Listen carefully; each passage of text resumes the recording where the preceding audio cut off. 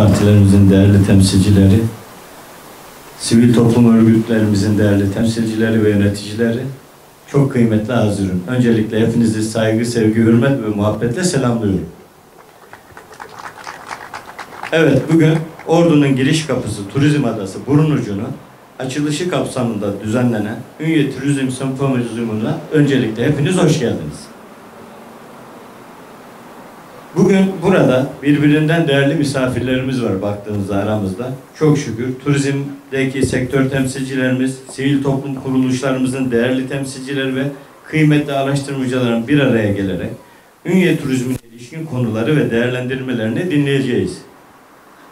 Turizm ile alakalı konuların değerlendirildiği ve tartışıldığı oturumlardan, dostlukların pekiştirildiği ve özlemlerin giderildiği, sohbetlere şahit olacağımız gibi bu anlamda tüm konuşmacılarımıza katkılarından dolayı şimdiden özellikle teşekkür ediyor. Sempozyumda çıkacak kararlarımızın ünyemize hayırlı uğurlu olmasını temenni ediyor. Hepinizi saygı, sevgi ve hürmet muhabbetle selamlıyorum. Hayırlı günler. Sempozyumun ve açılışın hayırlara vesile olmasını temenni eder. Tüm katılımcılara selam ve sevgilerimi sunarım. Profesör Doktor Sayın Numan Kurtulmuş, AK Parti Genel Başkan e, Başkan Vekili, AK Parti İstanbul Milletvekili. Değerli Genel Başkan Vekilimize telgraflarından dolayı çok teşekkür ediyoruz. Evet, bugün sempozyumumuzu gerçekleştireceğiz. Yarın da açılışımızı gerçekleştireceğiz. İki oturumda gerçekleşecek sempozyumumuz. Toplam 8 konuşmacımız olacak ve e, ilk e, bölümde 4 konuşmacımızı, ikinci bölümde 4 konuşmacımızı huzurlarınıza davet edeceğiz. Normalde sempozyumdaki konuşmacılarımızı aslında sahnede sizlerle hepsini bir buluşturmayı hedeflemiştik ama hava malum, sıcak hava ve değerli konuşmacılarımızın da diğer konuşmacılarımız sempozyumda konuşmalarını gerçekleştirirken sahnede bu sıcak havada bunalmamaları adına Onları sahnenin size göre sağ tarafında konumlandırdık. Değerli konuşmacılarımızın da tabii ki iznine ve müsaadesine sığınarak. Bugünkü e, sempozyumumuzun ardından yarınki açılışla ilgili de bilgi aktarmak isteriz. 4 Eylül 2019 Çarşamba yani yarın saat 14'te açılışımızı gerçekleştireceğiz. Protokol konuşmalarının ardından açılış kokteylimizi gerçekleştireceğiz. Hemen ardından Aynur Tan hocamızın resim sergisi, İlker Çorbacı hocamızın rölyef sergisi ve çömlekçi ustamız Sayın Salih Karayiğit Beyefendinin çömlek gösterileriyle beraber yarınki açılışımızı da sizlerle beraber gerçekleştireceğiz. İlk önce konuşmacılarımızı huzurlarınıza e, teker teker davet edeceğim kürsüye yerlerini almak istiyorum. ESAK Ekonomik Sosyal Araştırma Kalkınma Derneği'nden turizm bilinci konulu konuşmasını yapacak Sayın Mehmet Çolakoğlu Beyefendi'ye yerine davet ediyorum. Üntisat, Ünye Turizm İşletmeleri, Otelciler ve Seyahat Acenteleri Derneği Başkanı Sayın e, Hasan Şimşek Beyefendi'yi alternatif turizmle ilgili konuşmasını yapacaklar. Yerlerine davet ediyorum. Ünye Esnaf ve Sanatkarlar e, Kredi ve Kefalet Kooperatifi Başkan e, Kooperatifinden Sayın Soner Çam Beyefendi'yi turizm gelirlerinin iyileştirilmesi ve turizm teşvikleriyle ilgili konuşmalarını yapacaklar. Konuşma öncesinde yerlerine davet ediyorum ve Ünye Mesleki ve Teknik özür diliyorum.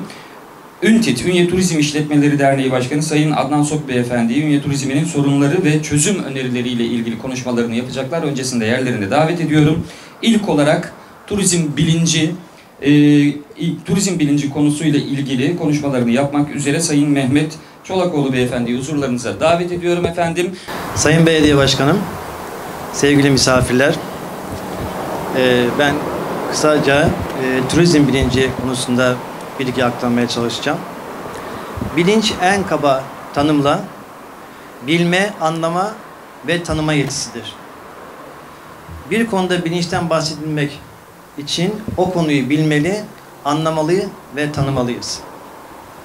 Yani bir konuda bilinçlenmek, o konu hakkında bilgi sahibi olmak, konuyla ilgili olguları anlamak ve çıkarımlar yapabilme kapasitesine sahip olmaktır.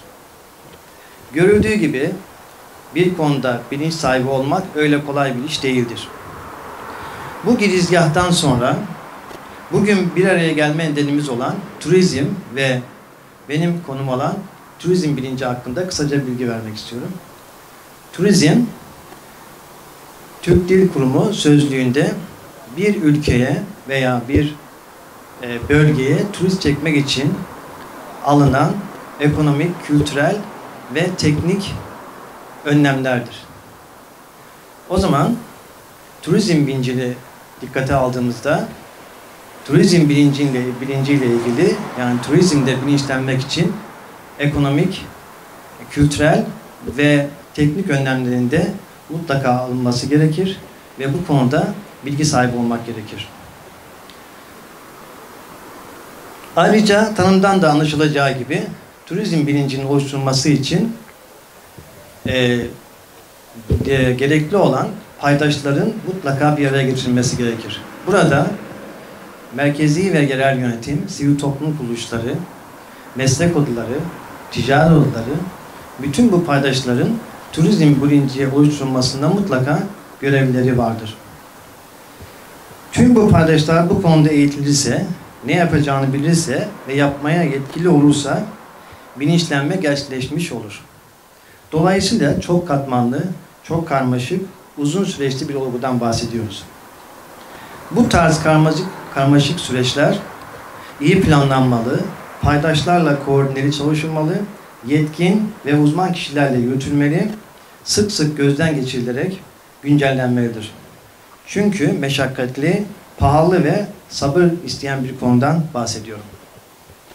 Turizm konusunda toplumsal bilincin oluşturulması, pekiştirilmesi ve sürdürülebilir sürdürülebilmesi için bir sivil toplum kuruluşu olarak ben de aynı zamanda yöneticisi konumunda olduğum Ekonomik Sosyal Araştırma ve Kalkınma Derneği herhangi bir çalışmada, her türlü çalışmada diğer sivil toplum örgütleriyle, yerel yönetimle, merkezi yönetimle çalışmaya hazırız.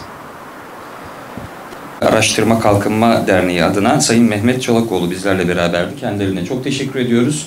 Hem yeni katılan misafirlerimize aynı zamanda buradaki bu sempozyumumuz e, sosyal medyadan, sanal ortamdan da canlı olarak yayınlanmakta. Sanal ortamda bizleri izleyen sevgili seyircilerimize bir kez daha hoş geldiniz diyoruz ve ikinci konumuz alternatif turizm olacak. Türkiye'de turizm denince akla deniz geliyor, deniz denince akla Akdeniz, Ege geliyor. Oradaki 5 yıldızlı otellerin konseptleri içerisinde iyi bir dinlence geliyor ama turizm sadece bu demek mi? Hayır tabii ki değil. Ve Ünye'de özellikle turizm işletmecilerimizin, yerel yönetimlerimizin e, ve turizme destek sağlayan sivil toplum kuruluşlarımızın önemli arz etmiş olduğu bir konu var ki alternatif turizm, alternatif turizm, alternatif turizm. Peki Ünye'de, Ünye'nin turizmden iyi bir pasta alabilmesi için ne gibi alternatif turizmler geliştirilebilir? Bunlarla ilgili de konuşmalarını yapmak üzere e, Üntisat, Ünye Turizm İşletmeleri, Otelciler ve Seyahat Acenteleri Derneği Sayın Hasan Şimşek Beyefendi'yi huzurlarınıza davet ediyorum efendim.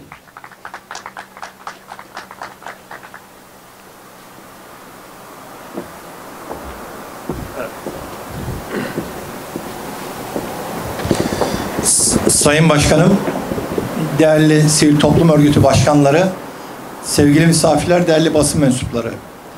Bu adadaki turizm sempozyumuna hepiniz hoş geldiniz. Bu adanın yapımına emeğe geçen Ünye Belediyesi ve DOKA'ya özellikle teşekkür ediyorum. Benim konumda alternatif turizm olduğu için ben de 75 yılından beri dünyada gezen bir adam olarak hep gezdiğim yerlerde niye giderim, gittiğimde ne var veya oraya gittiğim şehirde neyi görmeliyim diye hep önceden Google'dan veya işte internetten, kitaplardan, broşürlerden bakarız. Ondan sonra orada bir şey bulamazsanız girersiniz bir turizm e, danışma bürosuna. Oradan şehrin haritasını veya gezecek yerlerin haritasını veya o ön bilgiyi alıp o şekilde gezeriz.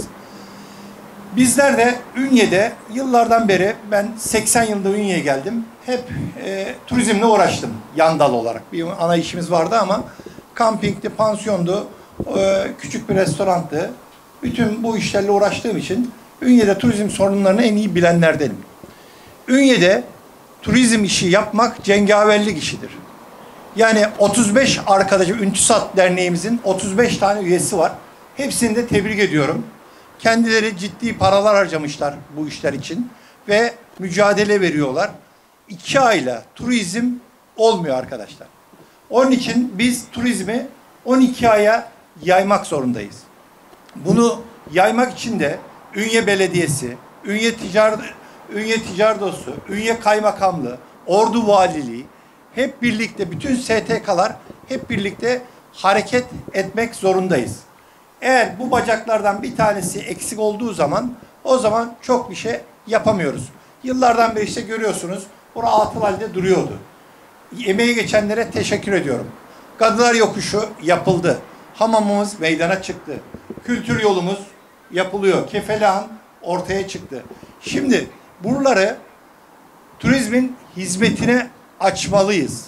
Eğer biz bunların alt katlarında kafeler, restoranlar göremeyeceksek devletin yaptığı bu paraya da yazık olur diye düşünüyorum. İki ayla turizm olmaz. Çünkü gelenler yaz tatilinde de olsa Ünye'ye hani bir şansı var. Ünye'nin şansı da şu. Bütün yabancı dil kitaplarda Ünye var. Eskiden Ünye'ye gelen insanlar ilk Ünye'ye geliyordu. Ünye'den Trabzon'a, oradan Şehit İshak Paşa Kars, Ağrı Dağı, Van Gölü, Nemrut Dağı, Kapadokya. Ya da oradan giren insanlar aynı şekilde turu yapıp e, Kars, e, Trabzon ve Ünye'ye geliyordu. Şimdi güzergah değişti. Ünye'ye günübirlik uğruyorlar. Ünye'den Trabzon'a, Trabzon'dan Batum'a, Batum'dan da Tacikistan, Kırgızistan, İran, Azerbaycan, Tacikistan, Kırgızistan'a gidiyorlar. Onun için biz bu gelenleri bir günlüğüne de olsa burada kalıyorlar. Ama biz bunları iki güne çıkartmak için ne yapmalıyız? Biz bir defa artık yağmurla turizme alışmalıyız. Çünkü gördünüz bu sene işte yağmur. Yağmurun da bir bereketi var. Ben yağmurda denize girmek, işte yağmurda efendime söyleyeyim yürümek güzel şeyler olduğunu düşünüyorum. Onun için moralimizi bozmayalım. Bizim yapmamız gereken en önemli şeylerden biri 950 milyon ton kapasiteli manyetik siyah kumumuz var. Bu Bambi yatakları ve Orhan Yiğit Bey'e teşekkür ediyorum. Bunun önemini vurguladılar. Benim kolumda olan bir ağrıyı ben iki günde deniz kıyısında yaptığım kum banyosuyla geçirdim. Buradan herkese sesleniyorum. Eskiden bizim anneannelerimiz, babaannelerimiz hepsi e, şeyin altında, kumun altında, güneşin altında kum, banyosu, kum banyosu yaparlardı. Niye yapıyorlardı hiç düşündünüz mü? Biz bilmiyorduk. Yıllarca biz havlunun üstünde yattık. Sonra şezlong, şezlongun üstüne yattık. Artık arkadaşlarınızı, ailelerinizi denize götürdüğü zaman bu kumun üzerinde yatıralım arkadaşlar. İkincisi burada olması gereken kum banyoları Japonya'da yapılan bu kum banyosu havuzlarını inşallah Hüseyin Başkan'la istişare ediyoruz. Deniz kıyısında güzel bir yere ya da Hilmi Başkan'a da söyledim. Ee, orman kampının olduğu yerde bir kum banyosu havuzları kurulacak inşallah. İkincisi buraya gelen insanlara bizim vakit geçirtmemiz lazım. Yıllardan beri konuşuyorduk. Kalede faaliyete geçiyor. İnşallah o kalenin şeyi açıldığında dehlizleri orada da farklı şeyler çıkacağını düşünüyorum. Ünye turizmine katkı olacağını düşünüyorum. Üçüncüsü dünyada gelişen bir trend var. Av turizmi. Bu pahalı bir turizm. Avlak bölgesi belirleniyor. Bu avlak bölgesine e, avcılar Avrupa'dan, dünyanın her yerinden geliyorlar. Vurduğu ayının, vurduğu işte e, hayvanın parasını da veriyorlar. Ama işte çay başında bu proje radarın olduğu yer vardır. Çay ilk öze giderken sağda. O bölge yapılacaktı olmadı ama e, bir de Ket Dağı orada 500 dönüm bir yer var. Domu, yaban domuzları var. Burayı avlak bölümü olarak Turizm Bakanlığı'na işletirsek inşallah bununla ilgili çok büyük yatırıma da gerek yok. Ama av turizmi için insanların Ünye'ye kışın bile gelebileceğini düşünüyoruz. Bizim dağlarımız, ırmaklarımız, her şeyimiz var. O dağlarımızda, ırmaklarımızda yürüyüş yollarını tabelalar koyarak nereden nereye biz 3-4 tane Dağcılar Federasyonu Ünye Şubesi Anıl var kardeşimiz. 3 tane yer belirlemiş. O insanlara o yürüyüş yollarını vererek oralarda gezdirmeliyiz. Niye? Çünkü yağmur yağıyor, otelde oturuyor. İnsanın yapacak bir şeyi yok. E o zaman ne olacak? Sıkılıyor, hemen ertesi gün yağmur olmayan bir yere gidiyor. Diğer bir yapılması gereken de bizim turizm olarak hamamımız var.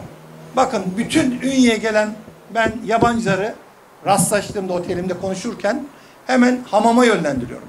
En çok hoşuna hoşlandıkları e, erkekleri sabah, bayanları öğleden sonra. Oraya gönderiyoruz. Orada insanlar para harcıyor. Turizmde para harcayamazsanız o zaman buraya gelmiş turist milyon insanları getirmişiz. Çok yapılacak bir şey de yok. Üntisat, Ünye Turizm İşletmeleri, Otelciler ve Seyahat Acenteleri Derneği e, Başkanı Sayın Hasan Şimşek Beyefendi'ye alternatif turizmle ilgili konuşmalarından ötürü çok teşekkür ediyoruz. Verimli bir konuşma olduğunu da düşünüyorum. Ve peki, Ünye Turizmi'nin sorunları neler? Çözüm noktaları ne olmalı?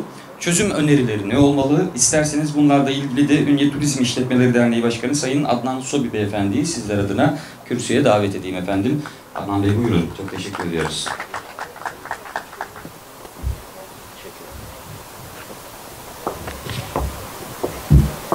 Evet, öncelikle böyle güzide bir mekanın açılışında bulunduğunuz için ve tarihe de tanıklık ettiğinizi düşündüğüm için sizlere özellikle teşekkür etmek istiyorum. Ama öncelikle bu teşekkürümü Ünye Belediye'mize böyle bir eseri kazandırdığı için sadece Ünye'mize değil, Ordu ilimize değil, bölgemize değil, gerçekten Türkiye'mize, ülkemize kazandırdığı için ayrıca şükranlarımı sunuyorum. Tabii ki buradaki halkımızın da çok büyük emeği var. Burası çalışmalar sırasında çok sıkıntılar yaşadılar. Ben burada konaklayan, gerçekten buranın sahipleri olan halkımıza da ayrıca teşekkür ederim. Şimdi yıllardan beri 2005 yılında Ünye Turizm İşletmeciler Derneği'ni kurduğumuzda hep şunu söyledik. Bir sektör vardır ki o sektörde kervan hiçbir zaman yolda düzülmez. Yani hiçbir destinasyonu hazırlamadan satamazsınız. Sattığınız zaman da gelenler gerçekten memnun kalmadığı için gittiği yerlerde de kötü reklam yaparlar. İşte bizim Burnuca adamızda buna çok canlı bir örnek. Artık biz burayı satabiliriz. Yani burayı tanıtabiliriz, anlatabiliriz. Zaten turizmimizin en büyük sorunlarından biri de hazır olmayan destinasyonlarımızın pazarlanmasıydı. Artık hazır bir destinasyonumuz var, hazır bir sahamız var ve bu sahayı da gerçekten dokusuna uygun, ruhuna uygun ve mekana uygun bir şekilde hazırlandığı için de ben ayrıca teşekkür etmek istiyorum. Şimdi 2005 yılında derneğimizi kurduğumuzda Ünye'mizin turizm şehri kimliğinin resmi anlamda kabul görmesini de talep etmiştik belediyemize. 2015 yılında da belediyemize tekrar teşekkür ediyorum. Ünye tarih, kültür ve turizm kentidir ve bu kent, kimliği de resmi kayıt altına alınması gerektir dediğimizde başkanımızın da önerisi, meclisimizin de takdiriyle Ünye'miz resmi bir kimliğe kavuşmuş oldu. Bu da gösteriyor ki gerçekten bu kimliği hak eden bir şehir Ünye'miz. Bu aslında en büyük sorunlarımızdan biriydi. Nedir bu sorun? Kendi kimliğini sahiplenmesi gerekir kentler. Yani eğer tarım şehriysen tarımını sahipleneceksin. Kültür şehriysen, tarih şehriysen, turizm şehriysen bunu sahiplenmen gerekir. Buradaki öncelik şuydu bu kararın alınmasındaki mücadelemizde yapılan projelerde gerçekten ülkemizin 800'ün üzerinde ilçesi, 80 tane ili olan bir ülkede yaşıyoruz. Dolayısıyla yüzlerce projeler geliyor Kültür Bakanlığımıza. Şu an DOKA'nın da ajansların da yaptığı ölçümlerde kriterlerin üzerine çıkanlar bu projeleri alıyorlar, kazanıyorlar. Dolayısıyla ünyemiz artı bir puan kazanmıştı. Resmi kimliğini kazandığı için ve bölgede tek olduğu için giden projelerin hepsinde artı bir değere sahip oldu. Bu da ünyemizin elini daha da güçlendirmiş oldu. Burada Orta ve Doğu Karadeniz'in giriş kapısı ünyemiz gerçekten. Ve bu kimliği kazanmasında en büyük emeği şunu kabul edelim ki en az 30 yıllık işletmelerimizdir. Çünkü geçmişe dönük turizm potansiyelini, hizmet altyapısını kazandıran işletmelerimiz olmasaydı Ünye'de turizm olması için daha uzun zaman harcayabilirdik. Ama gelin görün ki işletmelerimizin gerçekten yatırımsal anlamda gelişen teknoloji, gelişen turizm hareketleri ve güçlü büyük turizm şirketlerinin gölgesinde zayıf kaldığını görüyoruz. Çünkü Ünye'miz butik bir şehir ve işletmeleriyle, butik işletmeleriyle, küçük işletmeleriyle de aynı şekilde kimliğini taşıması gereken bir şehir. Ama buradan DOKA'nın bu yaptığı projeyi takdir ederken kırsal kalkınma ajanslarımızın büyük şirketlere, devasa projelerine destek verirken aynı zamanda Avrupa Birliği projelerinin ciddi anlamda desteklenirken burada üzülerek söylemem gerekiyor ki ve bunun da kayıt altına alınmasını istiyorum. Mevcut ana dokusunu oluşturan küçük işletmelerimizin gerçekten e, Çamlık bölgesindeki, Uzunkum bölgesindeki, Kavaklar bölgesindeki ve iç kesimdeki İkizce Çaybaşı, Akkuş bölgelerimizdeki küçük işletmelerin can suyu adı altında ve hükümetimizin de pozitif ayrımcılık adı altında. Şimdi baktığımızda Hasan abimiz gerçekten çok güzel bir konuya değindi. Ünye artık turizmde yağmurla yaşamak zorunda. Ama bakıyoruz ki Akdeniz yaklaşık 200 gün sektörü dolu dolu yaşarken özellikle güneşi, kumu, denizi ve doğayı kullanırken havayla birlikte maalesef bu sene Ünye'miz turizm anlamında, sektör anlamında çok ağır yaralar almıştır. Hava muhalefeti dolayısıyla bunu meteoroloji de desteklemektedir. Buradan ben turizm anlamında Karadeniz bölgesi bu yılı afet bölgesi ilan etmesi için Turizm Bakanlığımıza teklif vermeyi ben öneriyorum Sayın Başkanımıza ve bunu da şahsım adına yapacağımı söylüyorum. Çünkü turizmde olmazsa olmazımız ne kadar yağmura da alışmak zorunda kalsak güneşe de ihtiyacımız var. Ama bu iki dengeyi sağlamamız için de Akdeniz, Ege sahalarındaki sektörlerle yarışmamız, direnmemiz ve onlarla da gerçekten aynı ülkede yaşadığımız için pozitif ayrımcılık adı altında sektörümüzün gerçekten Karadeniz bölgesine özel pozitif ayrımcılıklar yapılmasını talep ediyorum. Burada belki karşımıza DOKA gibi ajanslar çıkacaktır. Ben buradan şunu da belirtmek istiyorum. Küçük sektörlerin maalesef DOKA gibi, kırsal kalkınma gibi büyük sahipleri yoksa destek alamıyorlar. Ben bunu ciddi anlamda söylüyorum. İyileştirilmesi ve turizm teşvikleri konulu konuşması için Ünye Esnaf ve Sanatkarlar Kredi ve Kefalet Kooperatifinden Sayın Soner Çam Beyefendi'yi huzurlarınıza davet ediyorum efendim.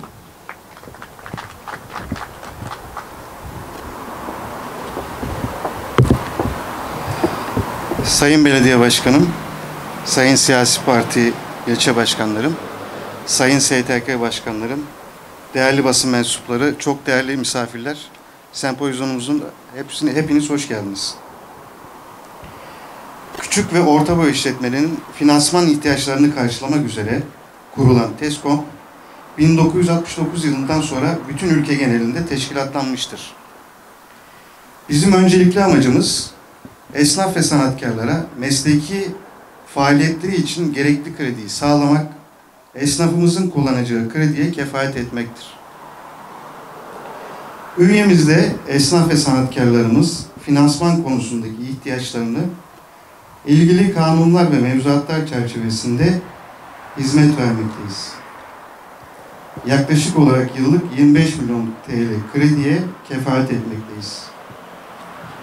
Bizler gibi esnaf ve sanatkarlarımıza, KOBİ'lere maddi anlamda destek olan iş yerlerinin modernizasyonu konusunda sigortalı personel ücretlerini ve iş yerlerinin kiras- kirasını karşılayan çeşitli hibeler sunan kurumlarımızdan biri de KOSGEB'tir. Gelecek dönemlerde de burada yeni açılacak iş yerlerinin ihtiyaçlarını karşılamak için ve daha çok esnafımıza hazine destekli kredi çeşitlerinden faydalanmaları için ekonomik hayatın bir parçası olarak misyonumuzu sürdürmeye hedeflemekteyiz. Bunun yanı sıra özellikle kaybolmaya yüz tutmuş meslekler konusunda, yöresel ürünlerin üretilip tanıtılması konusunda oldukça hassas bir yaklaşımımız vardır. Kaybolmaya yüz tutmuş meslekler için Yarın burada da gösterisi olacak. Çömlekçi ustamız Salih Karayiğit abimizi, yöresel ürünlerimizin yapımında, pazarlamasında turşucu Meryem Koçoğlu hanımefendiyi ve bunlar gibi birçok örnekleri verebiliriz.